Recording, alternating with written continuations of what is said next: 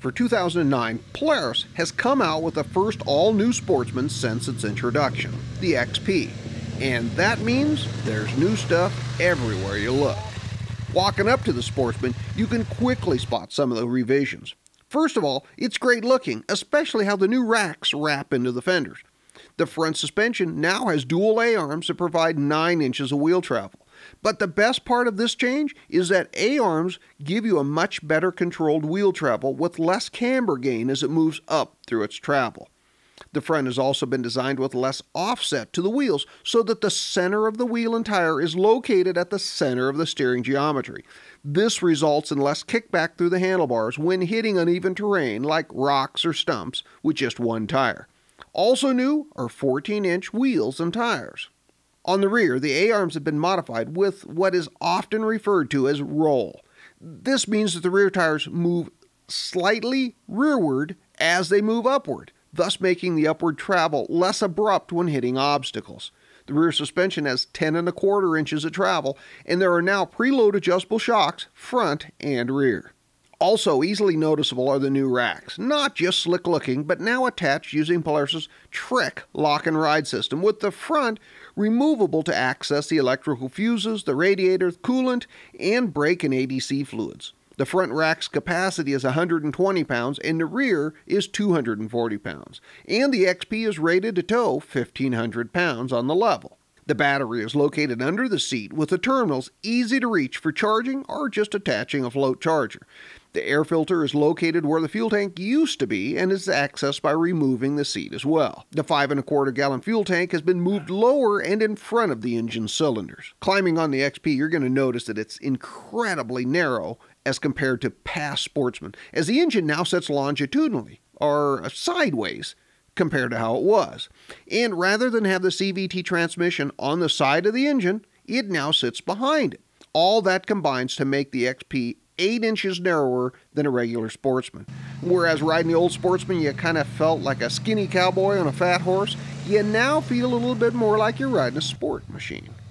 Now, other than making the machine narrower, it has the advantage of being more efficient, as the crankshaft now turns in the same plane as the drive shafts. And the seat is very narrow at the front and yet fills out towards the back, still having plenty of that good old sportsman cush for the long ride in the saddle.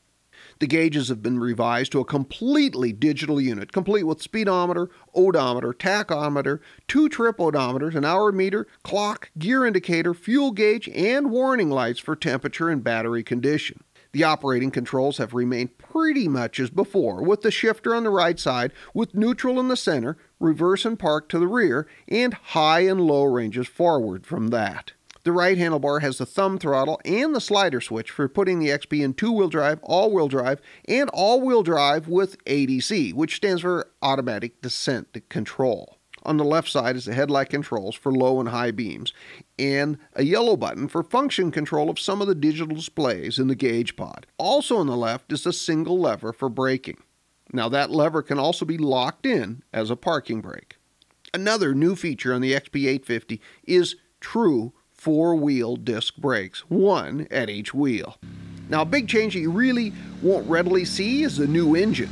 As mentioned, the engine now sits longitudinally in the frame, making it a much narrower package. But there are other changes as well. The single overhead cam 850cc twin cylinder engine is fuel injected for easy starting and smooth running at any elevation or weather condition and has four valves per cylinder and it puts out an amazing 70 horsepower. The engine and transmission are rubber mounted in the frame for less vibration and noise transfer.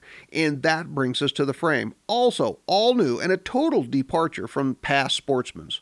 Where the old frames were a combination of square tubing and stamped steel pieces, the new frame is a double cradle of round tubing. Not only a stronger and lighter frame, but better looking as well. Our impressions? The XP is a great looking machine and incredibly comfortable and easy to ride out on the more open trails. And finally, a Polaris four wheel drive system that works in reverse without having to push a button. But at over 770 pounds, it's still a big machine to muscle around in the tight stuff. And although the CVT transmission works incredibly once moving, getting it moving from a standstill continues to require far too many revs for our tastes. We much prefer a transmission to hookup, quickly, right off of idle. And we wish the engine braking was a little more subtle and went to all four wheels all the time. And atypical to any Polaris we've ever ridden, the thumb throttle was extremely uncomfortable and provided no adjustment to modify that. The bottom line Sportsmans have always been comfortable and capable ATVs, and the XP takes those assets and builds on them. So, if you're a Polaris fan, you're going to find that the XP is going to be the best sportsman you've ever ridden.